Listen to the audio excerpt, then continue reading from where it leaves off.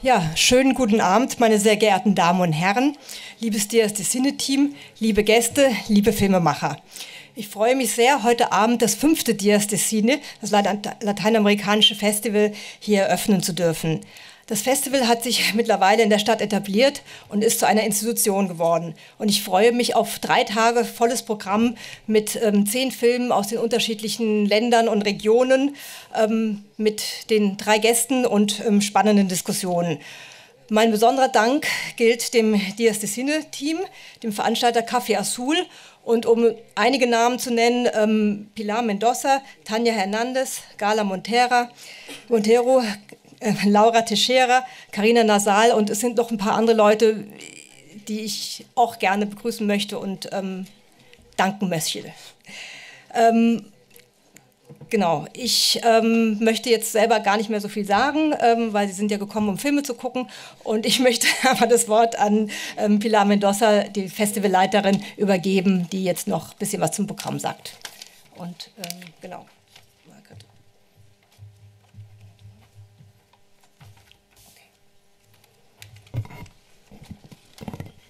Muy buenas noches. Hoy tenemos a nuestra eh, traductora estrella. Ella me va a traducir y así vamos a, a fluir más fácil. Äh, ihr guten Abend, meine Damen und Herren. Also ich werde äh, heute Abend also äh, übersetzt werden. Äh, so äh, können wir also jetzt gleich in die Sache einsteigen. Bueno, entonces muy buenas noches, señoras y señores. Bienvenidos a los cinco años de Días de Cine. Realmente para nosotros es una gran felicidad decir que estamos cumpliendo cinco años. Äh, äh, guten Abend, meine Damen und Herren. Äh, ich bin sehr froh, äh, Sie hier begrüßen zu dürfen. Also wir gehen jetzt schon in das fünfte Jahr mit unseren äh, Dias de Cine und äh, ich bin froh, dass wir es so weit geschafft haben. En realidad han sido cinco años de mucho trabajo, pues es un pequeño festival, pero independiente que sea pequeño, requiere, requiere bastante trabajo. Eh, afortunadamente no hemos estado solos. En estos cinco años hemos reunido eh, el apoyo de diferentes instituciones. Trabajamos estrechamente con el Film Museum. Los consulados nos han apoyado en diferentes años, diferentes consulados. Eh, Culturam de Frankfurt siempre nos ha apoyado, entonces eh, ha sido un trabajo conjunto que gracias a eso estamos hoy celebrando estos cinco años. Äh, ja, wir sind ein kleines, aber ein feines Festival. Äh, dieses Festival, äh, das bedeutet immer sehr, sehr viel Arbeit. Äh, wir haben das also die fünf Jahre äh, lang geschafft. Wir haben das nicht alleine geschafft, sondern wir hatten immer die großzügige Unterstützung und an erster Stelle wäre hier das Filmmuseum äh, zu nennen, dann aber auch die Konsulate verschiedener lateinamerikanischer Länder und es hat also von Jahr zu Jahr gewechselt und schließlich endlich auch das Kulturamt der der Stadt Frankfurt. Otra institución con la que estamos trabajando desde hace tres años y que nos alegramos mucho es el Instituto de Lenguas y Romanística de la Goethe Universidad, en la cual tuvimos esta tarde un coloquio muy enriquecedor con los tres directores invitados a esta versión y con también es, es, es una institución más que se une a este proyecto conjunto. Ja, und seit drei Jahren arbeiten wir auch äh, sehr erfolgreich mit dem äh, äh Romanistischen Institut äh, der Frankfurter Goethe-Universität äh, zusammen. Äh, wir hatten also heute Nachmittag also ein sehr bereicherndes Kolloquium mit den drei Filmregisseuren, die dieses Jahr während des Festivals anwesend sind. Bueno, durante estos cinco años también han pasado varios directores y directoras por el festival. Yo aprovecho para darle las gracias virtuales a Víctor Gaviria de Colombia, un gran documentalista colombiano, quien fue el primero, el primer director que vino, junto con Jorge Ramírez Suárez de México, que vive en Alemania. Gracias a Víctor Gaviria, de algún modo ya se le imprimió un sello al festival. Em, directoras también siempre cuidamos de que, de que vengan. Lastimosamente este año no pudimos invitar ninguna mujer, pero tenemos a tres maravillosos directores que están aquí presentes. Äh, ja, und es ist ja so, also die, wir haben ja auch immer sehr viele Regisseure äh, eingeladen. Einer der ersten oder äh, der erste war äh, der sehr bekannte kolumbianische Filmregisseur Victor Gaviria. Äh, er hat äh, sozusagen äh, unserem Festival auch den Stempel aufgedrückt. Es war noch ein mexikanischer Filmemacher, dessen Namen ich jetzt leider Jorge Ramirez Suarez. Jorge Ramirez Suarez, der war in dem ersten Jahr ebenfalls präsent. Leider haben wir dieses Jahr äh, keine äh, äh Filmregisseurin äh, für das Festival äh, bekommen können, dafür aber äh, drei Filmregisseure. Quiero presentar, eh, esta noche tenemos ahora en la película inaugural Los Nadie de Juan Sebastián Mesa de Colombia, que está aquí, con el cual podremos discutir después de la película. Bienvenido. Äh, ja, also zuerst würde ich unseren äh, Gast aus Kolumbien äh, vorstellen, Juan Menares. Also wir werden auch äh, gleich, äh, die, äh, am Anschluss werden wir also gleich den Film Los Nadie, die Niemande zeigen. Im Anschluss gibt es Gelegenheit, mit ihm zu sprechen. Herzlich willkommen. Después tenemos a Jürgen Ureña aquí frente a mí de Costa Rica con Abrázame como antes. Dann haben wir äh, Jürgen Rodenia aus Costa Rica, äh, ganz großer äh, Umarmung. Herzlich willkommen. Esto será el domingo. Bueno, ustedes tienen el programa. Yo espero que los que no lo tengan afuera lo encuentren porque así yo no tengo que contarles todo lo que está en el programa. Eh, y tenemos a Joel Calero del Perú, que no lo veo por aquí.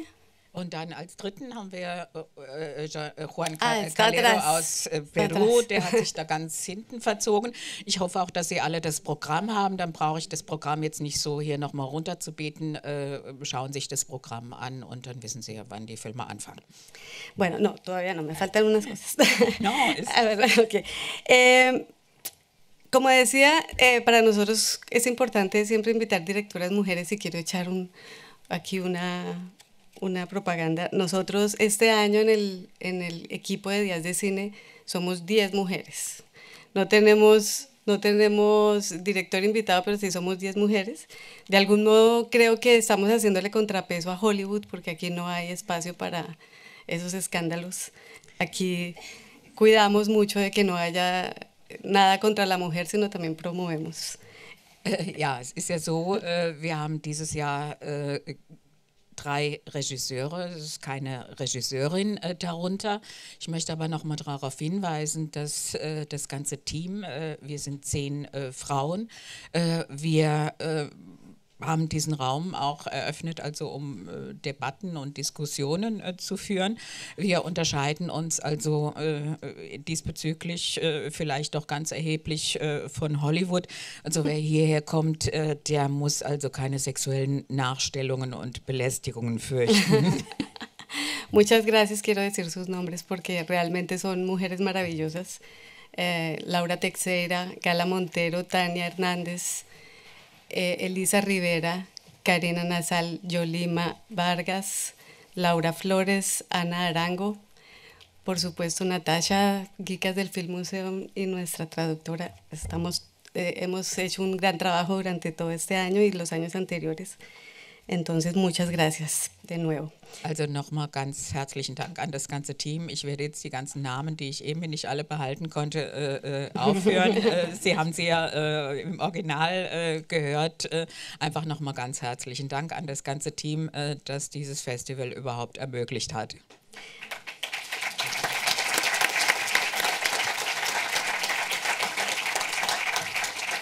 Para terminar, y que puedan empezar a ver la película, que es a lo que vinieron. Eh, gracias, por supuesto, a nuestros eh, cooperación partner y sponsor. Obviamente vamos a hacer la lista, tú no tienes que repetirla, yo la voy a, decir.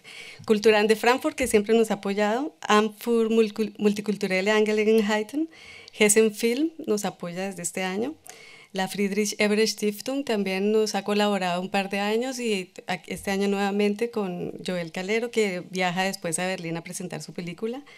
Como ya lo dije, la, la Universidad de Goethe, con quien logramos hacer un, un, enriquecedor coloquio, y los consulados que durante cada año, según la lista de cada película, hemos tenido el apoyo de, de varios. Este año el Consulado de Argentina, el Consulado de México, el Consulado de Chile, tenemos además otras pequeñas y grandes empresas que, que, hacen, que están en Frankfurt y que nos apoyan como el Club Sudamérica, el Hotel 25 Horas, Cafuchico, eh, Sparda Bank, Stadtmobil, nuestros fieles amigos de siempre de Saporrey o Froschkönig.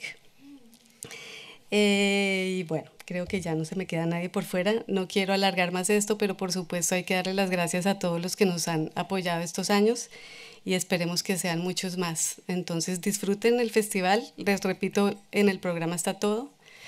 Así que no lo repetiremos ahora, está afuera. Al final del, de la película ahí haremos un foro con Juan Sebastián Mesa y al final los invitamos a una degustación latinoamericana.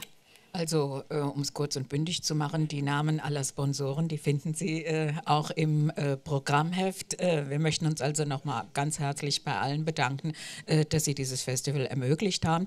Äh, wie gesagt, nach dem Film gibt es ein Gespräch mit dem Regisseur und anschließend noch ein Umtrunk draußen und dann auch noch die Möglichkeit, da eventuell weiter mit ihm zu reden. Bueno, que disfruten. Ja, viel Spaß.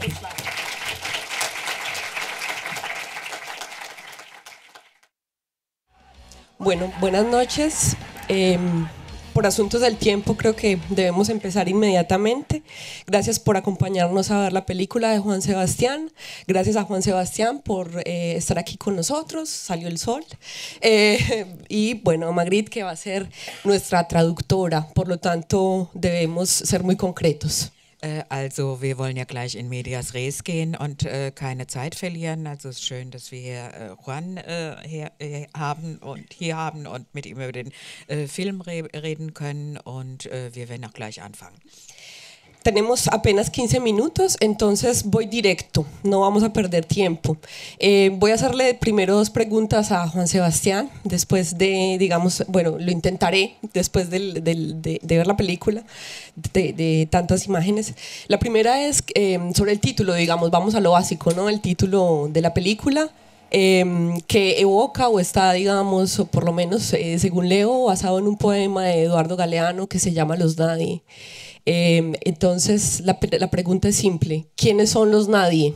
Äh, also da wir ja wirklich nur 15 Minuten Zeit haben, müssen wir jetzt wirklich einen Zahn zulegen und das Ganze äh, als schnell äh, machen. Und ich fange auch gleich äh, mit den ganz äh, simplen Sachen an, äh, mit dem Filmtitel, der Titel Los Nadie, die Niemand oder die Nobodies. Äh, das geht auf ein äh, Gedicht von Eduardo Galeano zurück. Meine Frage, wer sind diese Nobodies? Wer sind diese Niemande? Eh, bueno, muchas gracias por permanecer. Eh, gracias al festival por la invitación. La los Nadie viene de, sí, está inspirado en este poema de Galeano que habla de los excluidos por el sistema económico pero que es un poema que reinterpreto cuando estoy haciendo un viaje por Sudamérica, que es el viaje de los que los muchachos quieren hacer, y lo veo en una pared mientras estoy conviviendo junto a malabaristas y, y lo reinterpreto como estos personajes invisibilizados por, por la cotidianidad, ¿cierto? Por, eh, also, eh, schön, dass Sie noch hier äh, geblieben sind. Schön, äh, dass ich zu diesem Festival äh, eingeladen worden bin. Äh, ja, der Titel geht auf ein äh, Gedicht von Eduardo äh, Galliano zurück und er bezieht sich in diesem Gedicht also auf die, also auf die ganzen ausgegrenzten, ausgeschlossenen, die von einem Wirtschaftssystem ausgeschlossen sind und als ich äh, durch Lateinamerika äh, reiste, da dachte ich wieder an, die, an dieses Gedicht und äh, in diesem äh, Film äh, geht es ja auch um eine Reise und äh, ja, so. Y en relación directa, creo que la película y sobre todo el giro narrativo final nos deja pensar muy bien por qué ellos son los nadie, eh, pero porque todos somos los nadie, como dice el cartel de la película. Äh, ja, also und äh, in dem Ende des Films wird ja auch sehr klar, also dieser Bezug zu den Nadia auf der Reise und auf dem äh, äh Filmplakat heißt es aber auch, wir alle sind äh, die äh, Nobodies, die Niemande. Was bedeutet das? Bueno, me interesaba como, tras, como traspasar esa caparazón, esa superficialidad con la que se, muchas veces se asumen los muchachos, como el, el de los tatuajes, el de los piercings y me interesaba como buscar ese lado humano con el que cualquier persona pueda llegar a sentirse identificado. Todos hemos enamorado, nos hemos enamorado, todos hemos llorado en algún momento. Entonces me interesaba buscar esos momentos de humanidad que nos pudieran hacer sentir identificados con ellos y hacernos de dar cuenta que todos somos nadie, todos somos iguales a ellos en algún punto. Also mir ging es ja darum, und einerseits gibt es ja so diesen Panzer, also man äh, hat Piercings, äh, man lässt sich tätowieren. Äh, andererseits, äh, und das äh, alle, wir gehören ja alle äh, der gleichen äh, Menschheit an. Und äh, mir ging es also auch, und auch die Nadies, also die Nobodies, die verlieben sich, die leiden, haben Liebeskummer. Und mir ging es also darum, eine Filmsprache zu finden, um dieses zu zeigen, also auch diese menschlichen Seiten. Bueno, eh, una última pregunta para abrir, eh, digamos, la discusión en el público, las preguntas del público. Äh, ja, ich möchte noch eine letzte Frage stellen, ehe wir denn äh, äh, den, äh, also die Diskussion äh, zum Publikum hin öffnen und Sie auch Fragen stellen können. Yo también soy de Medellín eh, y bueno, digamos que pertenezco a la generación de estos muchachos que están eh, representados en esa película. Entonces es una pregunta un poco íntima o personal, pero también digamos objetiva, la que sigue. Also ich äh, komme ja auch aus Medellin, äh, gehöre der gleichen Generation an wie äh, die Jugendlichen, die in dem Film äh, gezeigt worden sind. Äh, ja, und äh, daher würde ich also gerne auch eine etwas intimere Frage stellen. y es por qué es tan difícil salir de Medellín, por qué es tan difícil hacer un viaje, eh, un viaje que te saque de ese valle que es Medellín y una vez que sales es está siempre el deseo de volver. Äh, ja, äh, zum einen, warum ist es denn überhaupt so schwer, äh, Medellin äh, zu verlassen, aus äh, Medellin rauszukommen? Medellin liegt ja in äh, so einem Tal und hat, wenn man das dann tatsächlich geschafft hat, aus der Stadt rauszukommen, warum will man so schnell wieder zurück? Y solo eh, corto para también intentar volver objetivo a la pregunta. Eh, es porque parece que el motivo del viaje, que es un motivo que atraviesa el guion de la película, eh, eh, es, eh, digamos, universal, en tanto que eh, al final aparece esa negación del viaje. Ja, und äh, vielleicht ist es ja auch ein universelles Thema. Also, äh, und das sieht man ja am Ende äh, des Films, also, äh, dass das die Reisesuche und äh, zugleich, äh, zugleich aber auch die Negation oder die Verleugnung der Reise ist. Bueno, para la primera parte de la pregunta, siento que Medellín es una ciudad que geográficamente está muy enclaustrada en estas montañas y que es una, una que, que esta estar, estar encerrados en las montañas es, es algo que también llega a, a, la cabeza de las personas. También está, son, somos de mente muy cerrada en ese sentido. Also äh, das Ganze, also warum man äh, so schwer aus Medellin äh, rauskommt, äh, das hat sicherlich also auch was äh, mit der Geografie zu tun, also mit diesem äh, Talkessel, in dem die Stadt so fast wie eingeschlossen ist. Und dieses Gefühl des Eingeschlossenseins, das hat natürlich auch Auswirkungen auf die geistige Verfassung. Como la, no vemos, nunca vemos el horizonte, nunca vemos qué hay detrás de las montañas, tampoco nos imaginamos que pueda haber algo más allá de ellos. Entonces creemos que este espacio en el que vivimos es lo único que existe y rara vez nos preguntamos qué hay más allá. Äh, ja, und da wir in diesem Talkessel eingeschlossen sind, äh, sehen wir also nie einen Horizont. Äh, wir sehen auch nie, was äh, hinter den äh, Bergen ist und äh, das führt zu diesem Gefühl des Eingeschlossenseins. Y bueno, con el, asunto del viaje, el viaje es una excusa simplemente para hacer un viaje a través de la vida de ellos, es como una excusa que está ahí latente. Y ese sentimiento de viajar es algo inherente a ser joven en cualquier parte del mundo, no siento que sea solo con los jóvenes de Medellín.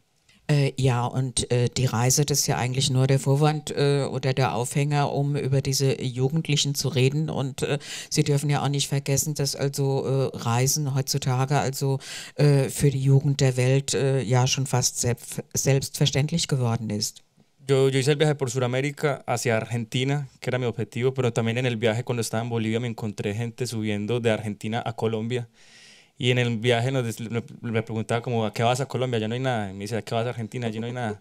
Entonces es, es como que ese sentimiento es inherente y el contexto es una excusa para irse, ¿cierto? Äh, ja, und äh, auf dieser Reise, die ich durch Lateinamerika gemacht habe, und äh, das ging ja also von äh, Norden nach Süden und von Süden nach Norden. Und da gab es halt Argentinier, die dann äh, nach Bolivien oder äh, nach Kolumbien gefahren sind. Und dann kam die Frage, ja, was willst du denn da machen? Da ist doch gar nichts los.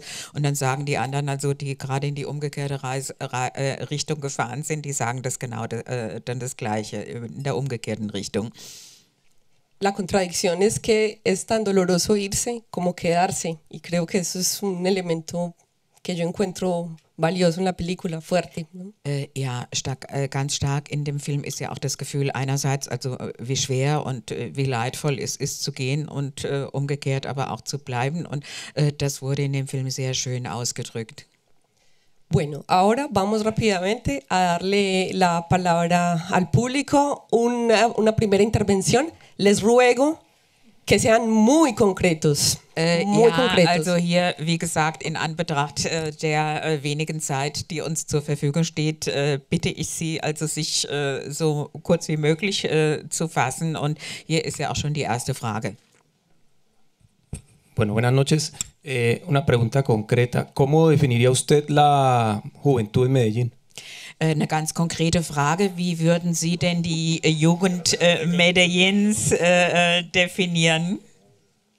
Eh, creo que es imposible definir una sola juventud en Medellín. Hay muchas. Yo simplemente estoy hablando de una, pero existen tantas Medellines como tantas personas la habitan. Entonces no, no podría decirte que es puedo definir la juventud de Medellín como algo definible. Hay muchas versiones de la juventud. Äh, Pero esta äh, es una de ellas, una de tantas.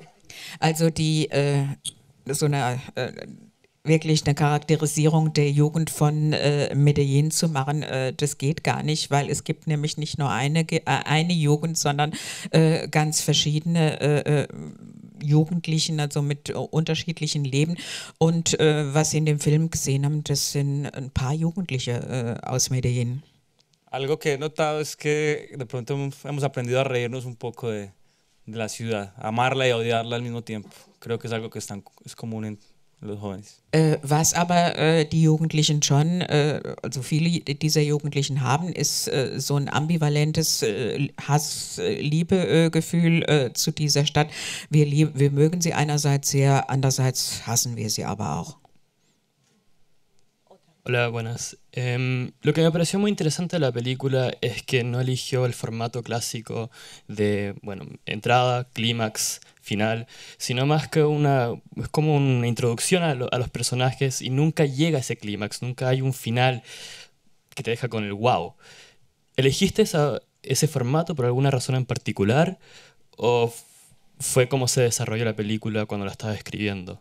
Also die, äh, hier war eine Frage äh, zur Form des Films. Also der klassische Film ist ja so aufgebaut, Anfang äh, Spannungserhöhung bis äh, dann halt zum, äh, zum Klimax, also zum Gipfel oder Höhepunkt. Und äh, hier ist es so, ähm, hier gibt es dieses Erzählschema nicht, sondern das Ganze ist offen.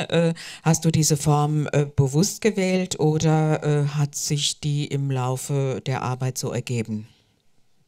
Eh, sí, no, no me interesaba mucho como trabajar una estructura clásica aristotélica porque me parecía algo muy rígido a la hora de hablar de esos personajes que de alguna forma son tan libres Ja, also ich wollte nie so mit einer äh, klassischen Erzählform, äh, klassischen Erzählform Aristotet aristotelischer Prägung äh, arbeiten, sondern da die äh, Personen oder die Figuren äh, in diesem Film ja so frei sind, wollte ich ihnen auch die erzählerische, wollte ich mir als, als Erzähler auch diese Freiheit nehmen.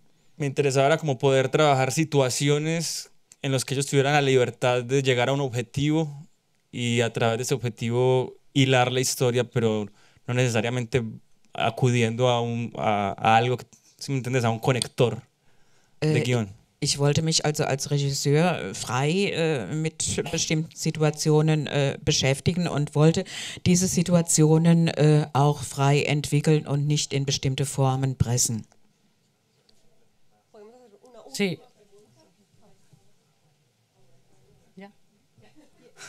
Hola, eh, yo quisiera saber, pues la quienes conocemos un poco el, cine colombiano, como que no podemos evitar hacer una referencia, creo yo, con eh, el trabajo de Víctor Gaviria, por ejemplo, con Rodrigo de No Futuro. No sé de pronto si para vos, pues me imagino también hay una referencia ahí con las historias que intentas contar ahora en cine y mm, bueno, siendo también una marca la diferencia entre ambas maneras de contar esa Medellín marginal. Y, y una curiosidad también, eh, ¿por qué optar por el blanco y negro también en, en la película?